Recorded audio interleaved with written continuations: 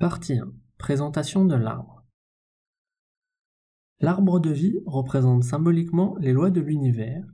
Il peut aussi être vu comme le symbole de la création, tant du macrocosme, l'univers, que du microcosme, l'être humain.